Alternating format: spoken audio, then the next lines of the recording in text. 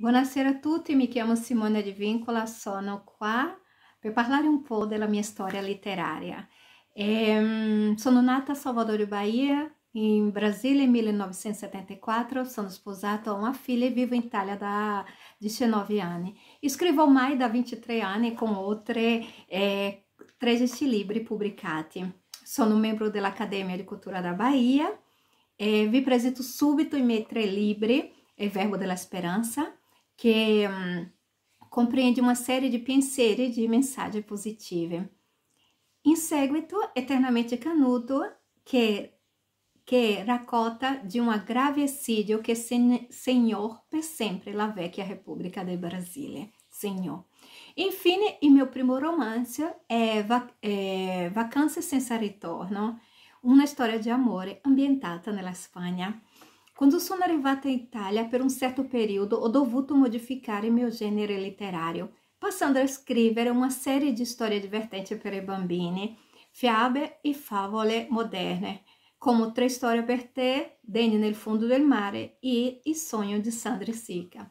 Questa, questa esperienza mi ha portato a conoscere eh, tanti bambini, le loro famiglie e principalmente tantissimi insegnanti che mi hanno apprezzato nelle scuole e nelle biblioteche.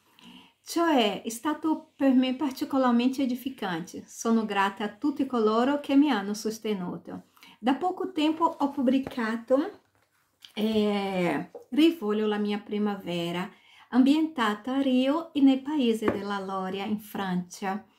Pessoalmente sono affezionata a questo romanzo perché non solo permette di conoscere la realtà sociale da eh, protagonista Milena, che dovuto lasciare il suo paese per seguire il care non è, una, non è autobiografico comunque, ma soprattutto perché si narra la meravigliosa storia di amicizia tra uma facoltosa, tra uma facoltosa senhora italiana, Stefania, residente in Brasile, e una semplice ragazza de posto che venne da lei accolta insieme alla sua famiglia.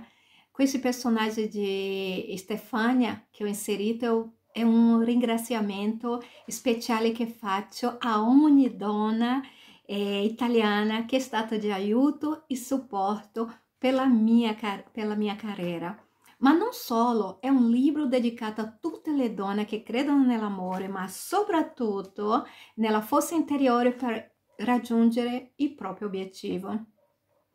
Infine, non meno importante, vorrei presentarvi questo libro Motivati, Motivati, 30 giorni per crescere, che sarà, che stiamo, che già è a cammino con la edizione UIN. Questo piccolo libro motivazionale contiene 30 frasi legate al percorso di crescita personale.